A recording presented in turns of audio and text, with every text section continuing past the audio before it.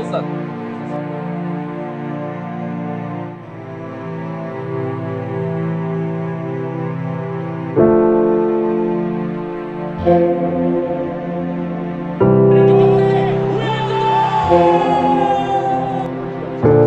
Sekarang bisa bilang 5 gol dari 10 pertandingan.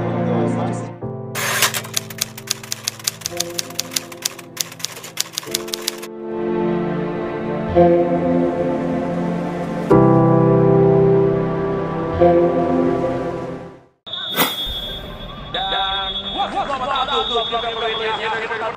Halo dulur, jumpa lagi di kabar bonek Persebaya. Kali ini kita akan membagikan berita tentang curhatan Josh Wilson yang sedang viral di di sosial media. Ya, Persebaya Surabaya menggenapi pekan ke-10 Liga 1 2021 dengan hasil yang manis. Bertanding menghadapi Persiraja Banda Aceh pada Minggu 31 Oktober, Persebaya menang dengan skor yang meyakinkan 2-0. Kedua gol baju hijau diciptakan oleh Alwi Slamet pada menit ke-8 dan Josh Wilson pada menit ke-51 melalui titik putih. Namun setelah mencetak gol, Josh Wilson pun langsung diganti akibat mengalami cedera di kaki kanannya.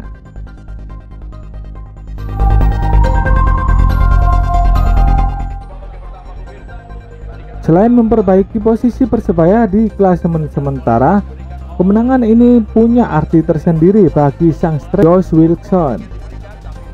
Pemain asal Brasil itu akhirnya bisa kembali mencetak gol setelah pada dua laga sebelumnya mandul sebagai striker Persebaya.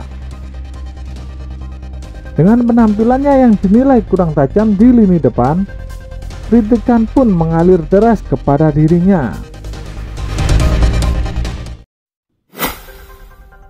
Melalui Instagram miliknya, Wilson pun curhat mengungkapkan isi hatinya usai mencetak gol ke gawang Persiraja Banda Aceh. Berikut isi curhatan Josh Wilson yang sudah KBP artikan ke bahasa Indonesia. Saya telah dicemooh, saya telah dihina, saya telah diserang, saya telah dikutuk, diancam, tidak pernah takut. Dipuji, dihormati, diberikan tepuk tangan oleh manusia, oleh Tuhan diberkati. Dari Genibau ke dunia, tujuan gol dalam liga, kerendahan hati selalu, Wani.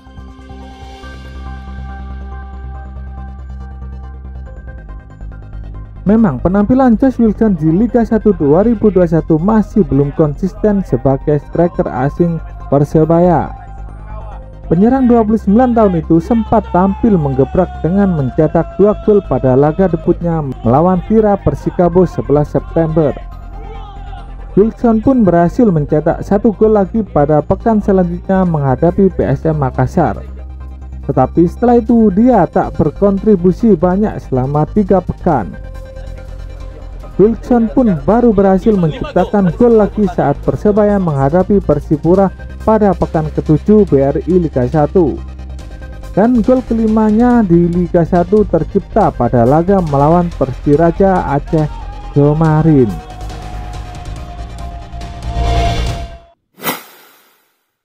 Sepertinya Josh Wilson salah dalam mengartikan kritikan-kritikan yang datang untuknya. Dia berharap dukungan untuk dirinya daripada Paido cemohan yang menghampirinya. Memang Paido dari supporter saat ini menjadi obat paling mujarab untuk pemain yang bermain buruk di Persebaya. Tetapi tak semua orang bisa siap menerima Paido tersebut.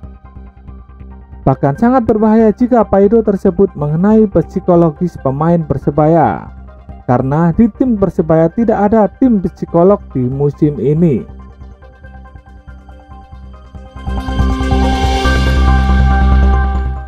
Mari kita beri dukungan Josh Wilson agar dia menemukan ketajamannya kembali. Semoga Wilson paham maksud dari para bonek mania yang sedang mengkritiknya. Jadikan kritikan sebagai penyemangat untuk lebih baik Wilson. Terima kasih, salam dari kabar bonek persebaya, salam satu nyali Wani.